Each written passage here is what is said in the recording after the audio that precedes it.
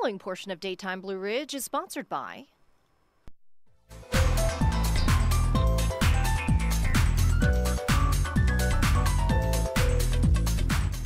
holidays approaching, we're busier than ever before, but don't let that be the reason to skip on your workouts.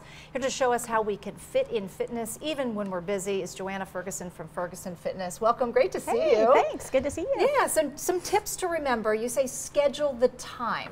Right, you of course you have to kind of just decide you're going to do it and mm -hmm. make it a priority. And most of the time, most of us operate either on our phones, our planners, and so wherever you keep your schedule, um, you have to schedule that time in so mm -hmm. it mm-hmm. so it happens. Yeah, and it doesn't have to be a really long period of time either. You say quick 20 to 30 minute workouts can be super effective. Right, so you can use things like higher intensity, you know, shorter amount of time and still get the same benefit of doing longer workouts, just just more condensed, mm -hmm. and it's just as effective. Okay, and then set goals with your tracker. Why is that important?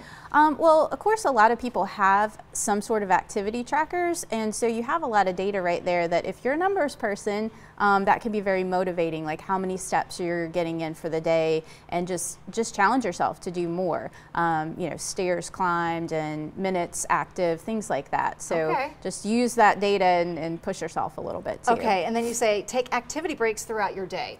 That is so important. We tried to do that here at our office, but sometimes it's easier said Yeah, I mean it's it's actually kind of proven effective for more productivity and you know it's it's going to help you really get to those goals versus trying to cram it all in and you know 30 to 60 minute blocks. It's it's just it's more healthy to okay. be to be active throughout your day rather than sit a long time and then yeah, so 30 true. minutes. That's yeah. so true. Okay, you're going to show us a five minute workout. Right, so the idea is you can keep it really simple. These are things you can do almost anywhere, like your office or at home. Mm -hmm. um, you just get up, put the timer on, and do it. So one minute, five moves each. Okay. Um, we started with just basic squats, right? So okay. get up out of yeah, the chair, so for one minute, the chair, and you're just going and down and up. Yep, and you can you can control how how deep you go. If you have knee issues and things, just mm -hmm. don't go mm-hmm. quite quite as far. Okay. So that works. So that's first thing. And Easy. then uh, desk push-ups. Right. So um, a lot of times people have trouble getting down on the floor, especially if you're in business attire. yeah, right. right? Um,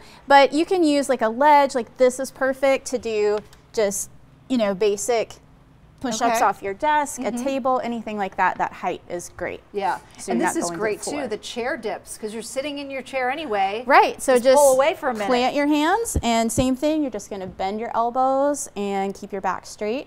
Down and up, you make it harder. Take your legs straight out. Things like okay. that. And so. on, on your heels more. Mm -hmm. Okay. And then one minute lunges. Right, so um, very, very functional. I usually do a reverse lunge. It's a little easier on your knee. Okay. But, and you can hold on to a, a table or a chair to balance, but you're just stepping back, you're keeping your heel up, and you're just staying nice and tall, bending your knees. Okay. And yeah, you'll start sweating. To the ground, or yeah, you will. You will. yeah, not quite to the ground. Again, okay. you can kind of control how deep you go based mm -hmm. on mm-hmm. what you feel. Okay, and then you have the uh, one minute stair climbing or walking laps. Right. So whatever you have in your house, your office, if you want to just go kind of do the stairwell just for a minute or so, or if you've got a place to just walk a little bit, mm -hmm. um, just get your heart rate up a little bit, challenge yourself, and you've got a five minute little activity just, break there. Just move. Yeah. How many times should we do this throughout our day, would you say? Um, I would suggest like maybe on the hour, like my, um, if I let it, okay. my Fitbit will say, hey, you, you, know, time to move, time to move at like 10 bit, till. Like, let's get, yeah, let's so that or just as many times as you can, you I know, it. it's flexible. Thank you so much for the tips. Yeah. All right, so head to fergusonfitness.com. You're also on Facebook under Ferguson Fitness. Thank you so much. Appreciate it. Oh.